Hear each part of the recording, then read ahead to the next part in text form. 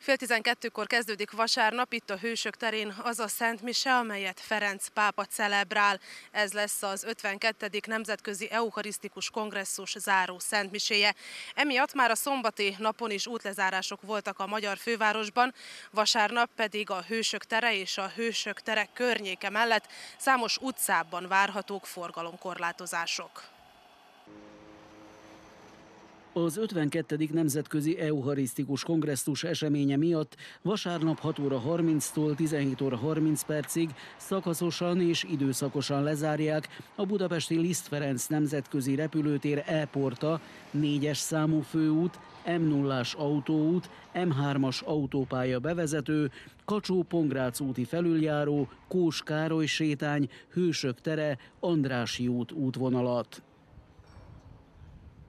A Budapesti Közlekedési Központ közleménye szerint a vasárnapi záróesemény miatt a 20E, a 30-as, a 30A és a 230-as buszok módosított útvonalon a keleti pályaudvar helyett a Lehel térig járnak.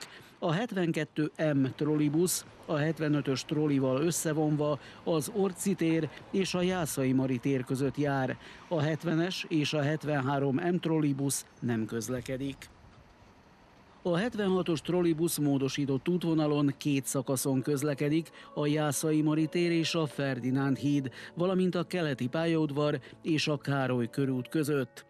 A föld alatti várhatóan 16 óráig rövidített útvonalon a Vörös Marti tér és az Oktogon között jár majd. A közlekedési változásokról és lezárásokról a BKK folyamatosan tájékoztatást ad. A legfrissebb információk a közút.bkkinfo.hu oldalon olvashatók.